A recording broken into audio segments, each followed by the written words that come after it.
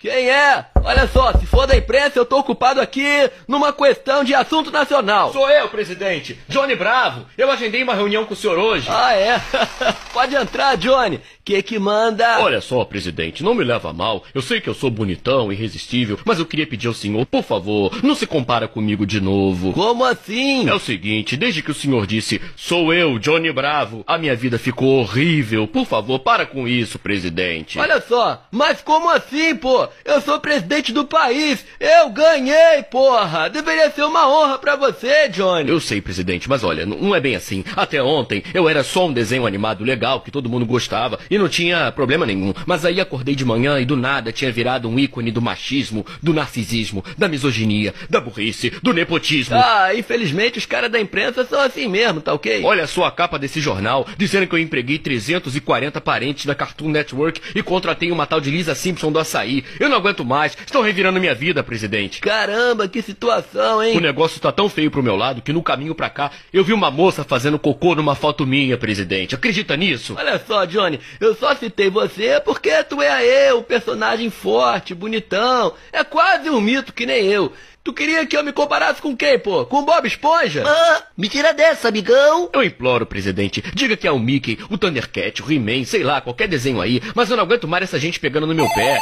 Olha só, tá vendo? Acabaram de hackear meu telefone. Ai, meu Deus, o que mais que me falta acontecer? Olha só, Johnny, por tudo que tu me falou aí, no tocante aos problemas que eu tive, então, tu já passou por todos. Como, como assim? A imprensa pegando no teu pé, revirando tua vida, as difamações, a moça defecando na foto. Isso só pode significar uma coisa, Johnny. O quê? Que a próxima etapa na sua vida é virar presidente.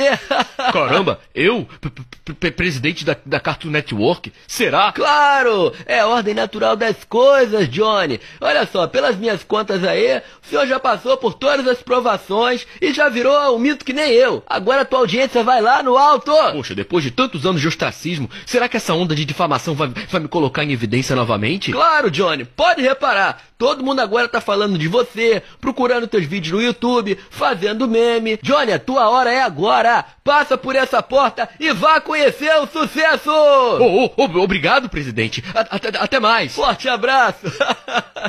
Ai! Johnny? Ih, rapaz, desculpa aí. Eu sabia que tinha esquecido alguma coisa aí antes do sucesso. A parte que tu quase morre.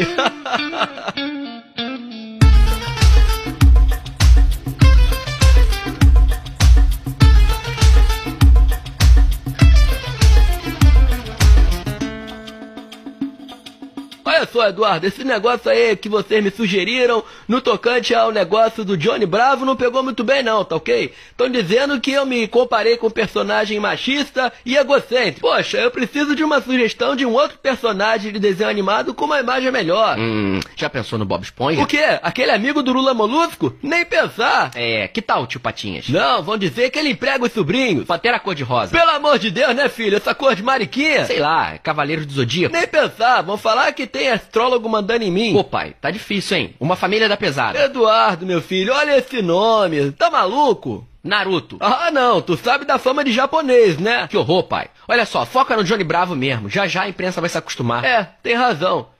Desculpa, Johnny. Moleque maldito, tomara que o Senado rejeite a tua embaixada.